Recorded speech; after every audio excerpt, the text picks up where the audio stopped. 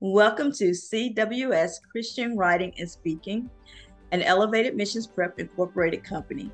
I'm your host, Jackie Wilson, and today's guest is the author of the upcoming book, Unseen People Sharing Light and Life with Your Neighbors and the Nations. She inspires mission driven Christ followers to sharpen their focus on undervalued, unseen people locally and globally so she can lead them to meet those people at their point of need and offer them a hope filled future.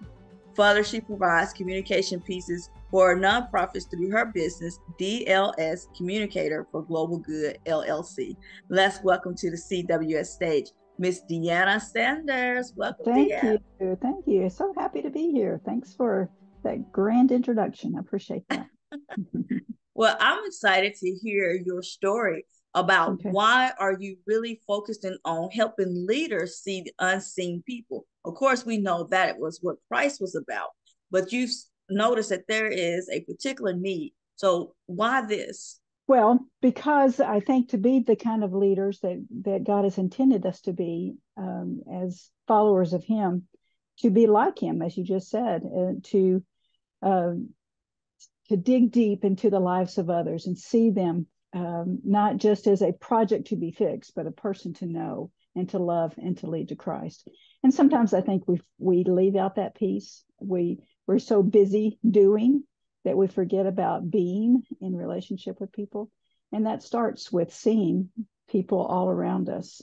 Um, and we like you know we are busy people, and we get in our cars and our and go, or we are on meetings, or and that's all good stuff. And God has called us to do that but in the process we don't want to lose focus on the people he puts in our path. And i i think that this had spoke to me personally uh, because i was i was that person. So i love to do mission. I love to go out and, and meet needs but sometimes i was overlooking the people and just trying to to get the job done.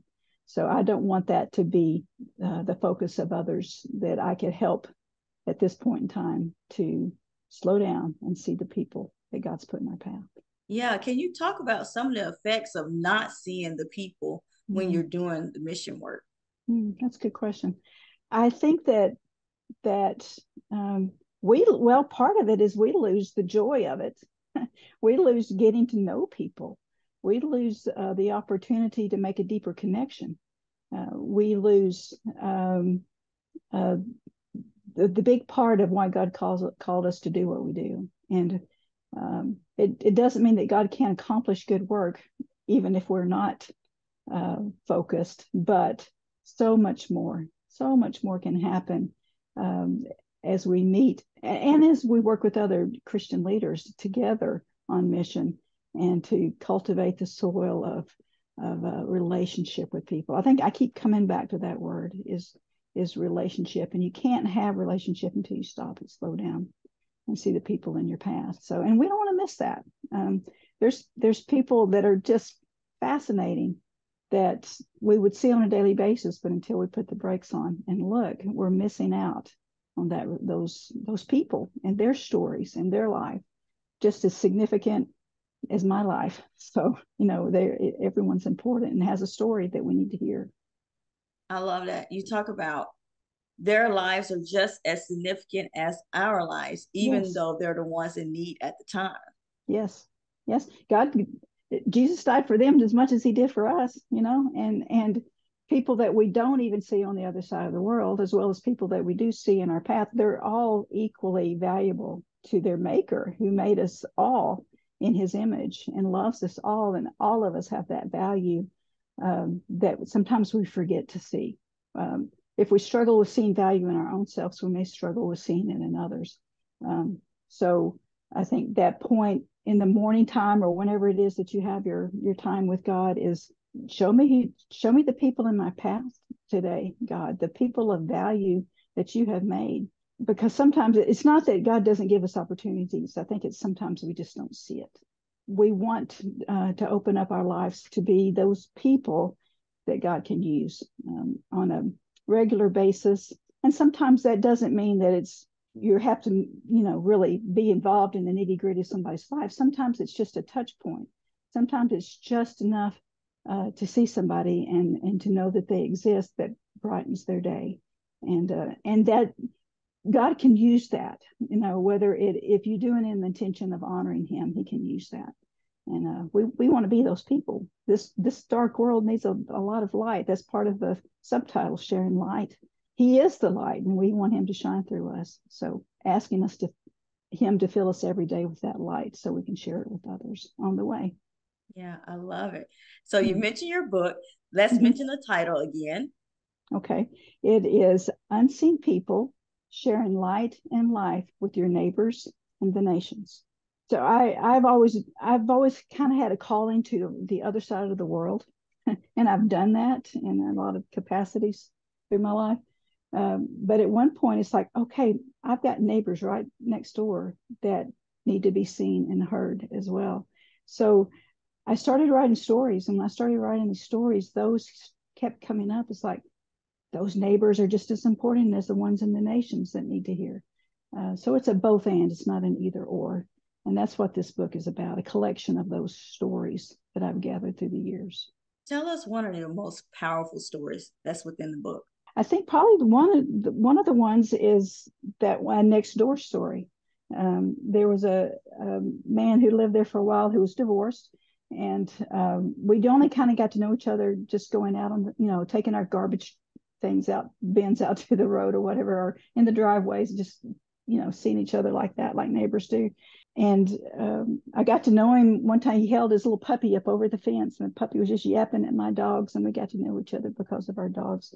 But I never got to really know him very deeply. And one day he came out and he had a big patch over his eye, and he said he'd been sick, and um, it had cancer, and he's going up about to go back to the hospital and have uh, the other eye operated. I had no idea he was going through stuff like that. Uh, and then it was just a week later, I saw his obituary in the newspaper. Wow. And it's like, oh my goodness, I had no idea. And I missed the opportunity to get to know Mike a little deeper because of uh, just, you know, just taking him for granted because he was always there. But you know what? People aren't always there. And uh, there might have been more opportunity for my husband and I to grow a deeper connection with our next door neighbor. And that, that's always bothered me ever since. It's like I didn't know him, but not to the point of maybe impacting his life for Christ like I could. So that's yeah. my challenge to other people as they're reading this is uh, don't take those people for granted. They're not maybe always going to be there, but there, you know, there's always there's other stories as well. Um, from the other side of the world. I worked for a, a nonprofit called She is Safe for a while, and I was uh, working in and out of Indonesia for quite a bit. So I quite I saw a lot of people that on little islands off of Indonesia that people would never even know exist. You know, and there's I was sitting on the porch one time with holding one of the ladies' babies. This was an anti-trafficking organization, and I was holding one of those little babies, and I thought people never know she is there, uh, but God does and thankfully, I got to intersect with her life. And God can use that in however He will to know that uh, a lady from the other side of the world cared enough to come to see her. So there's stories like that. They're both local and global. I just want people to be aware there's a world of people who need to be seen. That's the message of the book. Yeah. And obviously, the story with Mike deeply mm-hmm. impacted your life. How else has your experiences impacted you? Um, I think I wanted. I have become more of a person who person who sees people individually and sees people like just for example i have a discipleship group of young women i meet with in a local restaurant a breakfast place and um, we've come there for almost three years now just just meeting and every few weeks and so we've gotten to know some of the servers there so it, it I kind of realized they're not just there to serve me. You know, there are people who need to know who Jesus is as well and needs to see it through our lives, not just studying our Bibles, but living the word. And so if they don't have a name tag on, then I ask for their name, at least their first name. And I, and I write it down really quickly because I forget really quickly. Um, and so I try to use it, their name before. And when you say their name, it just lights up their face and people like to be seen. Your name is who you are, and it, it describes who you are, and people want to hear it. So um, I try to do that, and so that is what has changed me through the years is to not just see a, a group of people or not just see a person who's there to help me, but to reverse that. How can I help them? Um, and it takes effort. That that's a discipline to do. Uh, it doesn't come easy, and I don't always get it right. Never, you know, but I'm working on it. So I think that's been the challenge to myself as well. Yeah, that story, your daily experiences with mm-hmm. service, it reminds me of the song "You Know My Name," and mm-hmm. it really says you matter, and yep. we recognize absolutely. that you are here for a reason in this world. Yeah, Yep, absolutely. Uh, just yesterday, I went back to the same restaurant. I had written her name down in my journal, and I used it. And uh, it's it's amazing how that connection it just starts with that, and it can grow to something more as as God opens those doors. But just being aware of it, I think, is the starting point. Yeah, I love it. What's next for you, DeAnna? I write every week a, a newsletter on a Substack, and uh, I have that listed on my website. I'll tell you about in a minute. But so I, I do that every every week. It's called a Good Word Wednesday. So it comes out on Wednesday mornings, and it keeps me in the discipline of of writing, keeping my writing sharp. Um, but also, I be, keep telling the stories that God put the people He puts in my path and lessons He's teaching me, and it connects with people just on a human Christian level. Um, so I do that. Uh, I don't see that ending anytime soon. But uh, my book is in process. It's not published yet, so we're still in the editing phase. So that's where I'm at right now. Is I continue to write, but I'm I'm in the nitty gritty of getting the the words right so that will uh, resonate with people when they read it. I love it.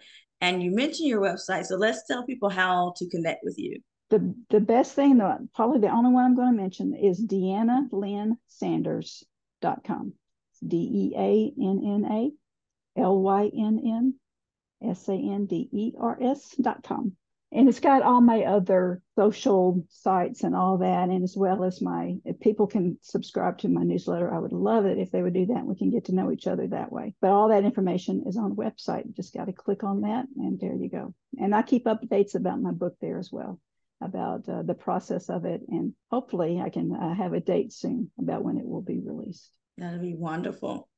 As we wrap up your interview, DeAnna, mm-hmm. I want you to leave a final word with the audience. What is one thing that they can do today to impact someone's life? I want them to see somebody that they may not have seen before. And you start with God, show me who that is. Uh, and it could be at the restaurant you go to, it could be in uh, the the a parent of a kid at your school. It could be uh, somebody at church you just see, but you never have gotten to know.